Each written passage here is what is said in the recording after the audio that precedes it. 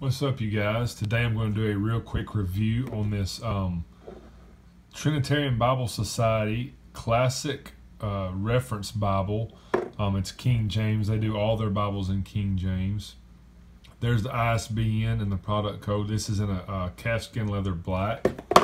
Um, here's some of the little features for the different ones, like the vinyl and the uh, uh, bonded and the flexible vinyl and stuff. And uh, there's the uh, page size six and three quarters, four and a half, and it's considered one inch thick, supposedly one inch thick. Um, the Bible is. Uh, Trinitarian Bible Society is amazing. For those of you that do not know, they are probably the king in making the King James translation, like in printing them. It, they do a phenomenal, phenomenal job. Um, so let's get that right down to this little Bible. Um, there's the spine, classic, uh, classic reference Bible, uh, Trinitarian Bible Society. It's in a black uh, calfskin leather. Um, I love their calfskin. Trinitarian Bible Society has one of the best calfskins to me, and their Bibles are thick. Like the cover's super thick. Um, it is a paste down liner. Um, and before I go too much further, I will say that I am absolutely shocked that this Bible is not talked about more. Um, because, especially as a smaller everyday carry Bible, this thing is small. And I'm fixing to show it compared to a Pitt Minion in just a minute. Um, but for a small everyday carry, if you like the King James, like this is amazing. I'm I really am shocked that people don't talk about it. Um, there's the gold gilding. It's not art gilded, but it's gold gilding. Um, it's got two black ribbons. Two for such a small Bible is great. Um, it's paste down, but these paste down liners are really thick. I mean, this this cover is super thick.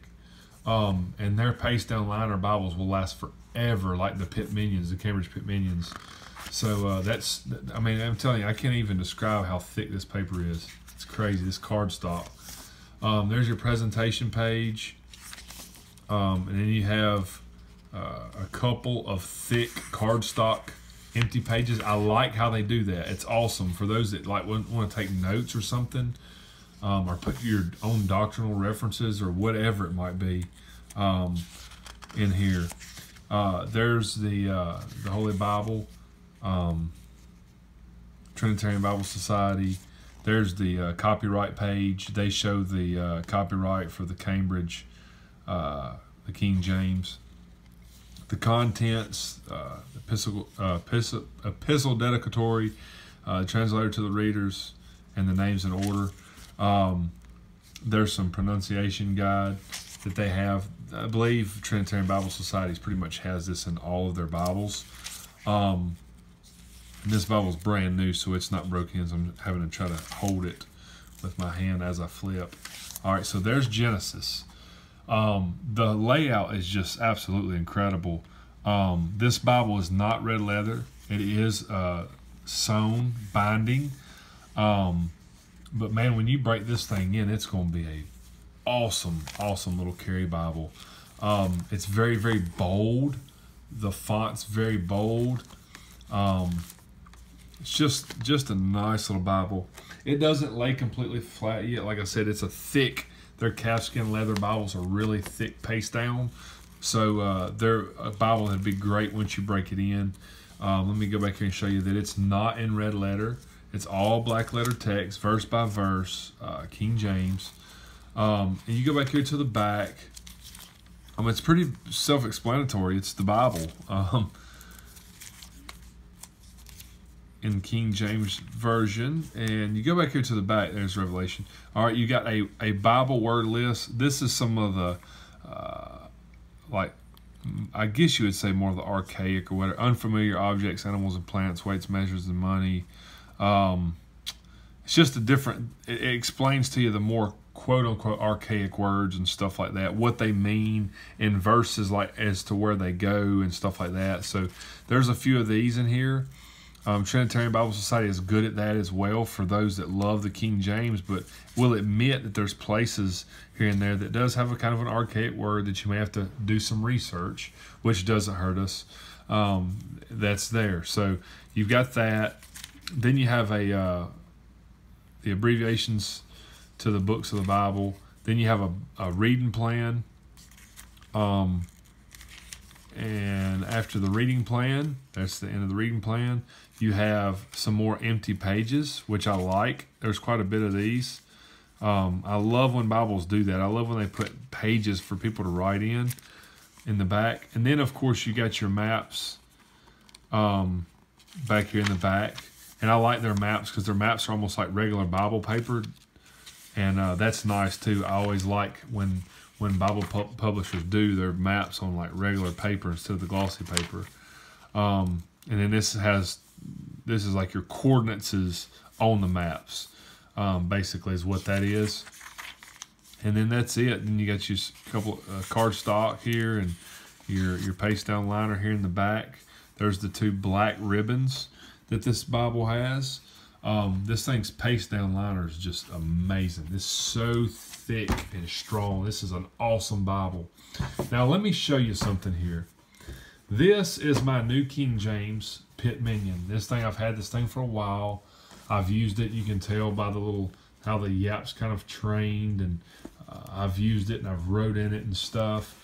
Well, I want you to see the comparison of these. This is why I don't understand why this Bible is not talked about more because the Pitt Minion is super famous, okay? Look at this. It's basically the same footprint. The Pitt Minion may be just a fraction taller, but that's probably just because of the leather, the yap. Look at the look at the text block. It is just a fraction longer. Just a fraction. Um, and you, I mean, I'm standing them up. They're actually ex almost exact same height here. So um, I don't know exactly I, without looking. I, it, I can tell the Pitt Minion is like maybe a quarter, maybe an, of an inch longer. But anyway, there they are. I mean, they're almost the exact same thickness and everything. Now, here's what's interesting about that. Here's what I like. This is really cool. So here they are. Let me open them up. The Pitt Minion has a font of 6.72, I do believe. All right. Now look at the difference in these two Bibles. Now, don't get me wrong, they're both for small Bibles.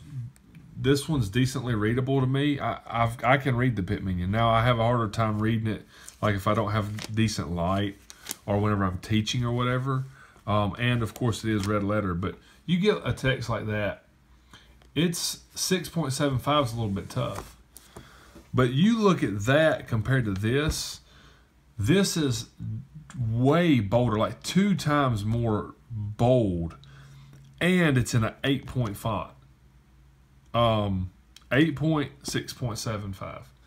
So I don't know why this does not get more talk versus the Pitt Minion, the King James Pitt Minion. This is the new King James, but what I'm saying is this should be probably a little bit more popular than the King James Pitt Minion um, this is a nice Bible. Look at it compared to the Pitt Minion. Look at it in size. It's insane. Like it, this is a awesome, awesome, awesome Bible. So, if you like the King James translation and you want a Bible that is like the Pitt Minion but a little bit more readable, um, this is the Bible to get. It's the classic reference, um, TBS Westminster. This thing is really, really cool. And I think Evangelical Bible um, and maybe some other sites have this Bible for only like $50. That's insane. This is a nice little Bible. So when a Pitt Minion is going to run you like a hundred. But um, anyways, look, I, I hope you guys like this video.